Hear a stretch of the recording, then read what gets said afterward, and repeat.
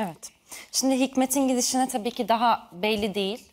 Ee, Birkaç gün sonra belli olacak ne olacağı ama adaya son veda, isim, eda, veda eden isim Ria oldu. Onun hakkında neler söyleyeceksin Murat abi?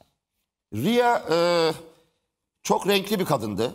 Yani sadece ben hep onu söylüyorum. Hani Survivor'da sadece parkur değil Survivor. Yani o zaman hep söylüyorum yani Acun Ilıcalı o zaman yollardı yarışmacıları. Koşun koşun koşun gelin geri. Koşun koşun. Orada her şey var. Reality var. İşte insanların kalbini fethetmek var. Ondan sonra fizik var. Yakışıklı olunca o yatıyorlar.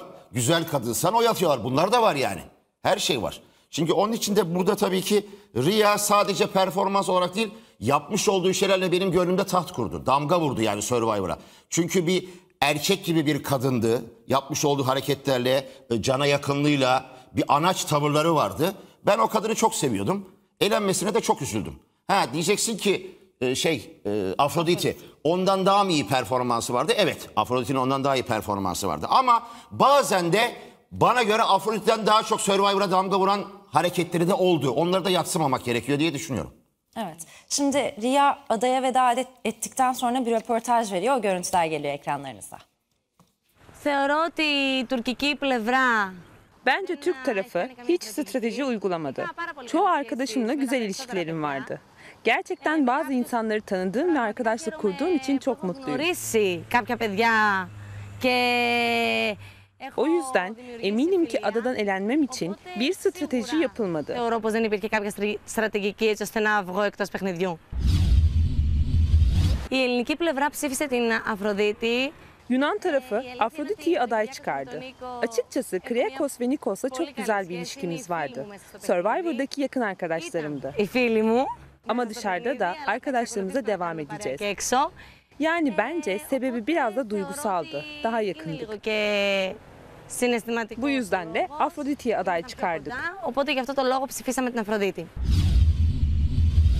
Με τον Νίκο, τον Κυριάκο και τον Σίμω Açıkçası Survivor'da Kriakos, Nikos ve Simos'la yakın olduk. Yarışmadaki arkadaşlarımdı. Yarışmadan sonra da olacak. φιλία που δημιουργήθηκε Bir yarışma içinde kurulan arkadaşlıktı ama hayatıma girdikleri için çok θα λέμε mutluyum. πάρα πολύ χαρούμενοι που έχουν μπει στη ζωή μου. Χαίρομαι πραγματικά πάρα πολύ Özellikle bu Survivor'a geldiğim için gerçekten çok mutluyum. Yani Yunanistan Türkiye Survivor'ına. Sebebi de Yunan arkadaşlarım oldu evet. Yarışmanın başından beri çok yakın olduğum arkadaşlar. Ama Türk yarışmacı arkadaşlarım da oldu. είναι τα παιδιά που Gerçekten Okay'la çok yakın olduk. Kızını tanımayı çok istiyorum. αλλά έκανα και του Bora ve Seda ile çok yakın olduk. Bu arkadaşları yarışmadan sonra da görmek istiyorum. Ailelerini tanımayı ve bu arkadaşlığın sonsuza dek sürmesini istiyorum. Θέλω πάρα πολύ να γνωρίσω την ε, κόρη του. Έχω έρθει κοντά με τον Μπόρα και Τσεντά. Εγώ με τη Σαμπρία ήρθα αρκετά κοντά. Sabriye ile çok yakın olduk. Açıkçası çok kolay iletişim kuramıyorduk. Çünkü Sabriye hiç İngilizce bilmiyordu. Καθόλου αγγλικά. Αλλά είδα στη Σαμπριέ ama Sadriye'de bir şey gördüm. Yüreğini çok sevdim. Çok iyi bir insan olduğunu düşünüyorum. Türk tarafıyla çok iyi ilişkileri olmayabilir ama bu durum beni rahatsız etmiyordu. Hem Sabriye ile hem de Sabriye ile arkadaşlık yapmayanlarla çok yakındım. İkisi tamamen farklı şeyler benim için. Ona değer veriyorum ve yarışmadan sonra da görmeyi çok isterim. Bu da Sabriye. παιδιά που δεν κάνανε παρέα με τη Σαμπριέ. Δεν ξέρω τι έχει δημιουργηθεί ανάμεσα στη Σαμπριέ και στα άλλα παιδιά. Sabriye ve diğer arkadaşlar arasında ne geçti bilmiyorum. Beyaz takım kurulduğunda Sabriye'nin diğerleriyle pek iyi bir ilişkisi yoktu. Ama hiçbir zaman sebebini merak etmedim. Kendi aralarında olan bir şey. Ben içeriğine girmedim. Δεν έμαθα ποτέ το λόγο. Η αλήθεια είναι ότι Çok mutluyum. Yarışmada da kendi hayatımda olduğum Riya'ydım. Açıkçası arkadaşlarım beni pozitif enerjiyle her zaman gülen bir insan olarak nitelendirirler. Yarışmada da bunu gösterdiğim için mutluyum. Bir an olsun karakterimi değiştirmedim. Hiçbir stratejim yoktu. Riya hep pozitif enerjili, güler yüzlü ve bench'te kuvvetli sesiyle anılacağı için mutluyum. Bu da beni gerçekten çok mutlu ediyor. με τη δυνατή φωνή στο πάγκο και πραγματικά με χαροποιεί πάρα πολύ αυτό. Σίγουρα από την ε, τουρκική πλευρά Survivor'ı kim kazanacak bilmiyorum. Türk tarafından finalde Seda, Okay, Bora ve Yusuf olsun isterim. ο Κάι, ο Μπόρα και ο Γιουσούφ. Από τους Έλληνες α, Yunanlardan sanırım bilindik. Kriakos, Nikosya'da Panayotis olsun isterim. να είναι ο Κυριάκος, ο Νίκος ε, ή ο Παναγιώτης. Δεν ξέρω ποιος θα είναι ο νικητής. Kazanan kim olacak bilmiyorum. Halk hangi kriterlerle seçiyor bilmiyorum. Kesin performansa göre olacaktır. Ama karakter de çok rol oynuyor.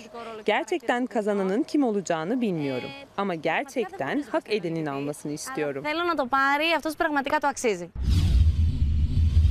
Χαίρομαι πάρα πολύ που Türk yarışmacıları tanıdığım için çok mutluyum.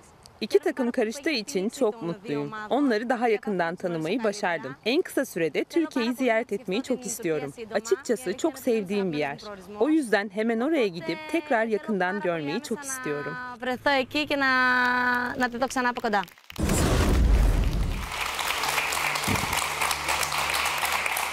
Evet, ya yine güler yüzüyle bir röportaj vermiş ve e, Türk tarafının hiçbir strateji uygulamadığını söylemiş. En başta bununla başlayalım. Siz öyle düşünüyor musunuz?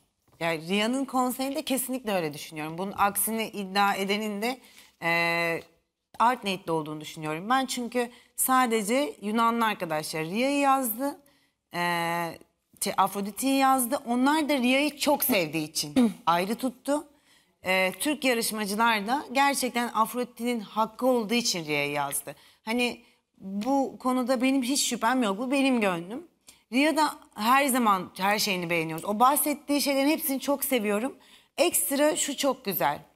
Şimdi çıkan insan mutlaka mutlaka birilerine bir kötü bir şey söyler. Mutlaka. Ya kız herkes için mi güzel konuşur? O kadar farkında ki insanlığın, insaniyetin, sevecenliğin. Bu bir yarışma diyor. Ben çıktım. Kimse strateji uygulamadı. İşte o olsun, bu şampiyon olsun. Hepsini seviyorum. Hepsinin beni sevdiğine inanıyorum. Türk arkadaşları tanıdığıma çok mutluyum. Yani bu kadar pozitif, bu kadar naif ve bu kadar iyi niyetli bir insan gerçekten Survivor'a çok az gelmiştir. Ben de her zaman hissettim hiçbir stratejisinin olmadığını. Bazı insanların e, iyiliklerinin altında bir şeyler aranır ya. Mesela ben Riha'nın yaptığı o bütün konuşmalardan ki çok böyle Türk kızı konuşmaları vardı bütün konuşmalarında. Hani kavgaları ayırırken bile yapma öyle değil bak sen milli bir sporcusun öğrencilerini izler falan. Bu konuşmaları sanki böyle Türkiye'de büyümüş dedirtirdi bana. Ee, ben çok beğeniyorum. Zaten gelecektir Türkiye'ye hem Seda ile de yakın arkadaş Evet, gelmek için. istediğini de belirtmiş Çok zaten mutlu oluruz yani da. ge- geldiğinde de çok mutlu oluruz. Murat abinin dediği gibi izlen, izlemesi de onu tanımak da çok zevkliydi. E, şampiyon olur muydu? Olamazdı. Ama damga vuramamış şampiyon olacağına damga vurmuş, sevilmiş bir insan olmak çok daha önemlidir bence. O yüzden bundan sonraki yolu açık olsun. İnşallah. Murat abi. Şimdi e, dinlerken bir şey dikkatimi çekti. Şimdi e, Riya çok iyi bir kadın ve karşısındakini rencide etmek istemeyen hiçbir zaman bir kadın. Ama sanki orada bir iğne vurdu. Hafif bir iğne hissettim ben. O iğne neydi? E, kim şampiyon olsun diye soruyorlar. E, erkekler üç tane erkeğin ismini veriyor. Dimitra ve Dimitra ve. Dalaka'yı, Dimitra ve Dalaka'yı söylemiyor şampiyon olmaları. Demek ki Dimitra ve Dalaka'yla Afrodit'i ilgili de yok. efendim Afrodit, Afrodit'i de söylemiyor. Afrodite'yi de söylemiyor doğru. Üç tane kadını söylemiyor. Demek ki orada bir problem yaşadı. Benim anladığım kadarıyla. Yani çünkü normalde orada çıktığı zaman e, şimdi kadınlar mesela hem cinslerini tutarlar genelde değil mi? Tutmasa bile Dalaka söylenmeyecek bir isim değil. Tabii orada o üçünü söylemesi bana enteresan geldi. Acaba içinden şöyle bir şey düşündü mü? Yani benim oradan gitmemde bu kadınların da payı var mı? Acaba öyle bir his mi var içinde? O bana enteresan geldi. Yani bir tek röportajındaki enteresan gelen şey benim içinden çıkardığım, cımbızla çıkardığım o. Evet. İhsan'cığım. E, strateji kurbanı olmadım diyor.